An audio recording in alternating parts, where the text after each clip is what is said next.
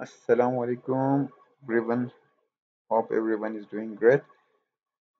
So, आज जो है हम लोग अपना जो सीरीज़ है water supply and waste water management के लेक्चर्स का, उसमें हमारा लेक्चर नंबर एट है।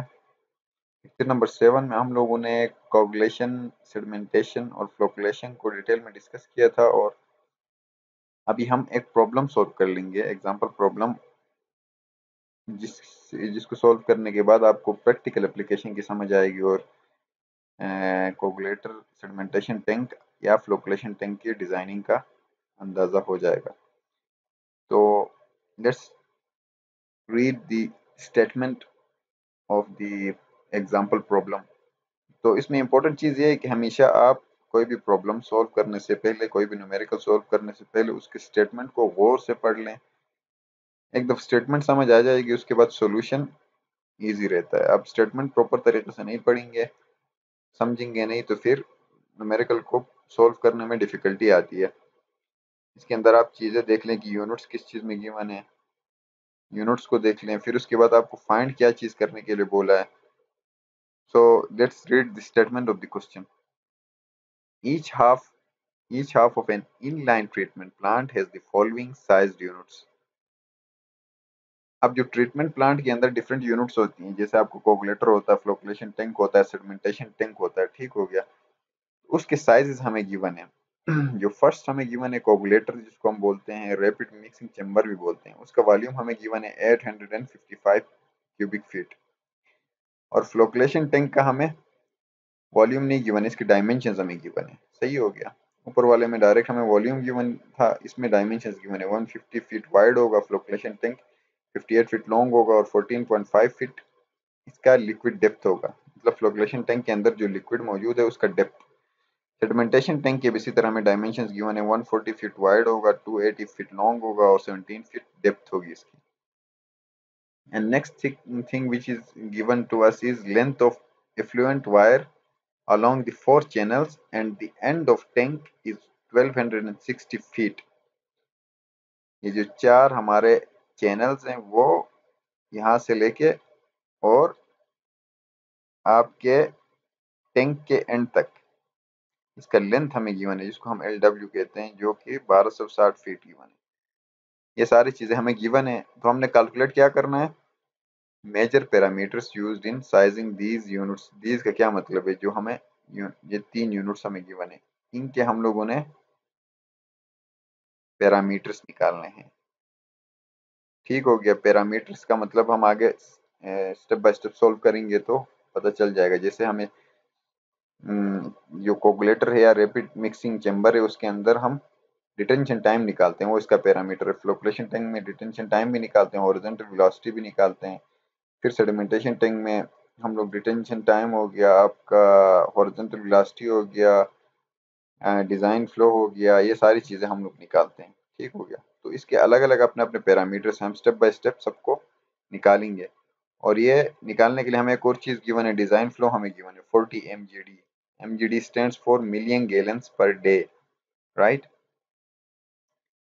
तो इनको हमने कंपेयर करना स्टैंडर्ड्स के साथ। स्टैंडर्ड्स का क्या मतलब है, हम अब आगे समझेंगे। हर जो यूनिट है, जैसे कोगुलेटर है, उसके अलग स्टैंडर्ड्स हैं। फ्लोकुलेशन टैंक के अलग स्टैंडर्ड्स हैं। और सेडिमेंटेशन टैंक के अलग स्टैंडर्ड्स हैं। उन स्टैंडर्ड्स को फॉलो करना चाहिए डिज़ाइन को। So let's start with the solution तो कोई भी न्यूमेरिकल सॉल्व करने से पहले सबसे पहला इंपॉर्टेंट चीज़ होता है कि आप गिवन डेटा लिखें। आपको क्या डेटा गिवन स्टेटमेंट के अंदर वो सारा आप लिख लेंगे। जैसे कोगुलेटर का वॉल्यूम हमें गिवन था 855 क्यूबिक फीट फ्लोकुलेशन टैंक का हमें साइज़ गिवन था। सेडिमेंटेशन टैंक का साइज़ हमें गिवन था। Length of effluent weir along four channels to the end of the tank हमें गिवन था 1260 फीट और हमें लास्ट में quantity of design flow given था, जिसको हम क्यों से शो करते हैं? 440 मिलियन गैलन्स पर डे जिसको हम जब फीट क्यूब पर मिनट में कन्वर्ट करते हैं तो 3710 फीट क्यूब पर मिनट आ जाता है। तो ये हमें गिवन था। अब हमने फाइंड क्या करना है? मेजर पैरामीटर्स हमने फाइंड करनी है। कौन से यूनिट्स की कोगुलेटर की? सेडिमेंटेशन टैंक की और फ्लोकुलेशन टैंक की इन तीन की हमने मेजर पैरामीटर्स फाइंड करनी है तो हम कोगुलेटर को पहले फाइंड करेंगे फिर सेकंड में sedimentation tank then flocculation so let's start with the coagulator अब कोगलेटर या फिर रैपिड मिक्सिंग बेसिन का जो डिज़ाइन है उसमें जो कंडीशन हमें सेटिस्फाई करवाना पड़ता है वो है जो हमें स्टैंडर्ड ने बताया है कि हमें हम, जो डिटेंशन टाइम निकालेंगे उसमें जो टाइम आएगा it should be less than thirty seconds या फिर दूसरे अल्फाज में ये है कि उसका answer ten to thirty seconds के बीच में आना चाहिए। राइट तो हम सोल्व करके देखते हैं। तो डिटेंशन टाइम जो है, वो निकालने के लिए हमारे पास फार्मूला होता है volume divide by design flow V divided by Q तो वॉल्यूम हमें क्या गिवन है? कोगुलेटर का वॉल्यूम हमें गिवन है। क्यू भी हमारे पास है डिज़ाइन फ्लो भी। पीछे हमने डेटा में लिखा कोगुलेटर का वॉल्यूम हमें 855 क्यूबिक फीट गिवन है और क्यू हमें कितना गिवन है? Design flow 40 million gallons per day इसको कन्वर्ट करने पे 3710 आया इसको इन वैल्यूज़ को हम पुट करेंगे फार्मूले में। एट 55 डिवाइडेड बाई 3710 तो हमारे पास आएगा 0.23 मिनट्स राइट अब हमने कंपेयर कंडीशन में जो करना है उसमें सेकेंड से तो इसको सेकेंड्स में कन्वर्ट करने के लिए मल्टीप्लाई बाई सिक्सटी कर दें। तो आपका आंसर आ जाएगा 13.83 सेकेंड्स तो hence 13.83 seconds is less than 30 seconds. या it lies between 10 and 30 seconds तो इसका मतलब यह है कि हमारा कंडीशन ओके सेटिस्फाई हो गया. कोगुलेटर इज़ डन हमारा नेक्स्ट स्टेप क्या है? कोगुलेटर का हो गया तो हमने सेडिमेंटेशन टैंक और फ्लोकुलेशन टैंक करना तो सेकंड हमारा होगा फ्लोकुलेशन टैंक डिज़ाइन इस इस डिज़ाइन क्राइटेरिया में हमें दो पैरामीटर्स फाइंड करनी है. टू राइट पिछले में हमने एक किया था जो कि डिटेंशन टाइम था, इसमें दो हमने फाइंड करनी। इसमें डिटेंशन टाइम भी आपने फाइंड करनी है और हॉरिजेंटल वेलोसिटी भी। ठीक हो गया। तो इसमें कंडीशंस क्या है? डिटेंशन टाइम हमारा 30 मिनट से लेस आना चाहिए। मिनट से right it's not second it's minutes और हॉरिजॉन्टल वेलोसिटी आपको 1.5 फीट पर मिनट से ग्रेटर आना चाहिए। तो लेट्स सॉल्व इट तो डिटेंशन टाइम पहले हम निकालते हैं वी अपॉन क्यू? जैसे पिछला, पिछले में हमने यूज़ किया फार्मूला अब इसमें जो वी है, हमने वॉल्यूम फ्लोकुलेशन टैंक का लेना है, क्योंकि हम इसके लिए सोल्व कर रहे हैं। फ्लोकुलेशन टैंक का वॉल्यूम निकालने के लिए हम वॉल्यूम तो हमें डायरेक्ट गिवन नहीं है, लेकिन हमें डायमेंशन गिवन है फ्लोकुलेशन टैंक के। 140 बाई 58 बाई 14.5 तो इनको हम मल्टीप्लाई करेंगे तो हमारे पास वॉल्यूम आ जाएगा। इसको हम डिवाइड करेंगे। क्यू से क्यू हमें ऑलरेडी गिवन है 3710 जब हम इसको डिवाइड करते हैं तो हमारे पास 27.35 मिनट्स आते हैं right so condition one satisfy हो रहा है राइट क्योंकि 27.35 minutes is less than 30 minutes तो कंडीशन वन सेटिस्फाई होगी। आप कंडीशन टू हमने चेक करना है कंडीशन टू हॉरिजॉन्टल वेलोसिटी निकालने के लिए हमारे पास फार्मूला है Q divided by cross sectional area ठीक हो गया। अब क्यू हमारा फ्लो है? अब फ्लो इस साइड से आपका हो रहा है तो फ्लो क्यू? तो हमारे पास पहले से मौजूद है। थ्री सेवन वन ज़ीरो हमने पुट कर लिया। डिवाइड बाय अब क्रॉस सेक्शनल एरिया कौन सा एरिया होगा? वो एरिया जहाँ पे जिस सरफेस के ऊपर ये जो साइड है, जिसके थ्रू आपका फ्लो इन हो रहा है राइट चैम्बर के अंदर या आपके बेसिंग फ्लोकुलेशन टैंक के अंदर आ रहा है। तो इसके डायमेंशन आपके क्या है? 140 फोर्टी बाई फोर्टीन तो ये वाला क्रॉस सेक्शनल एरिया आपने लेना है। 14 मल्टीप्लाई बाई 140 करेंगे तो ये एरिया क्रॉस सेक्शनल एरिया आ जाएगा। सो वैल्यूज़ पुट करने के बाद जब आप डिवाइड करेंगे तो 1.82 फीट पर मिनट आपका वेलोसिटी आएगा हॉरिजॉन्टल वेलोसिटी जो कि greater than 1.5 feet per minute है। तो सेकंड कंडीशन भी सेटिस्फाई कर रहा है। फ्लोकुलेशन टैंक के दोनों पैरामीटर्स आ गई। तो सेकंड स्टेप भी आपका डन आ गया। Step one coagulator step two flocculation tank. अब स्टेप थ्री आपका है सेडिमेंटेशन बेसन। अब जिस तरह हम कोकुलेटर में एक पैरामीटर फाइंड कर रहे थे फ्लोकुलेशन में हमने दो पैरामीटर्स फाइंड किए, सेडिमेंटेशन बेसन में हमने चार पैरामीटर्स फाइंड करने कौन कौन से? डिटेंशन टाइम आपका हो गया हॉरिजेंटल वेलोसिटी हो गया, weir loading ratio W L R आप अपनी आसानी के लिए इसको, एब्रीवेशन इसको डब्ल्यू आर एल आर लिख लें वायर लोड रेशियो और चौथा पैरामीटर हमने फाइन करना है ओवरफ्लो रेट ठीक हो गया.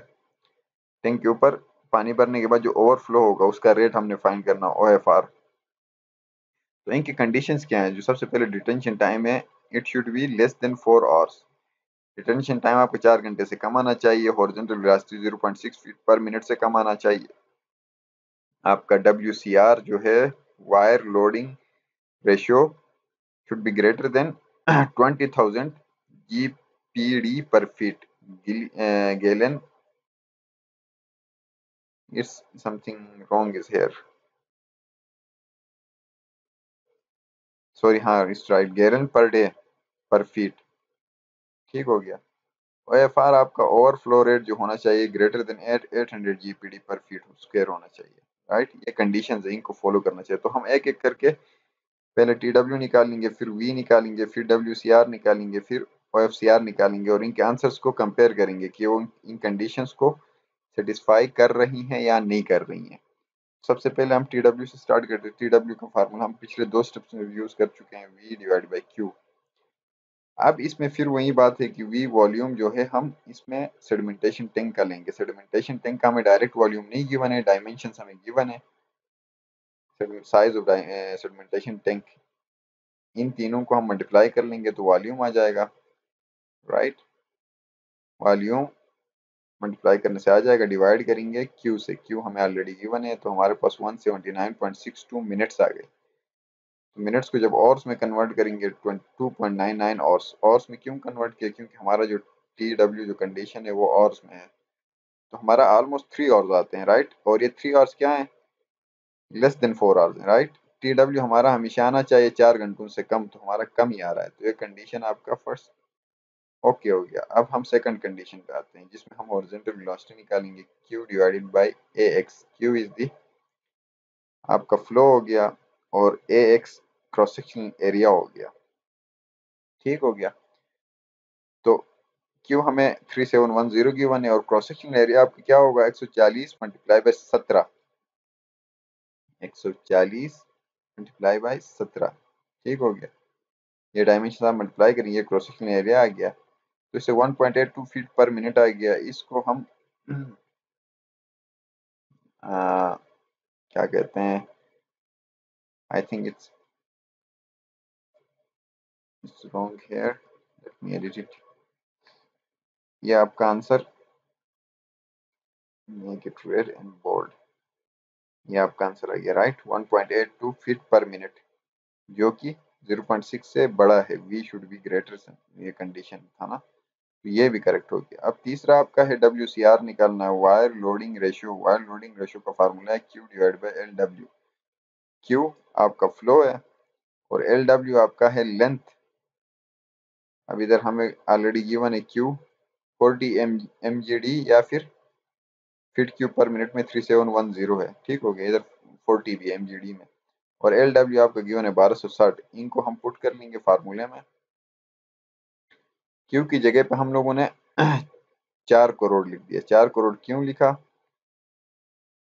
क्यू की value minute per feet cube में हमारे पास थ्री सेवन वन ज़ीरो था, लेकिन हम लोगों ने फोर्टी वाला क्यों लिखा? ये क्यू की आप वैल्यू देख लें यहाँ पे ना। एक तो क्यू की वैल्यू फोर्टी एम है मिलियन गैलन पर डे है। और जब इसको कन्वर्ट करते हैं फीट क्यूब पर मिनट में थ्री सेवन वन ज़ीरो है।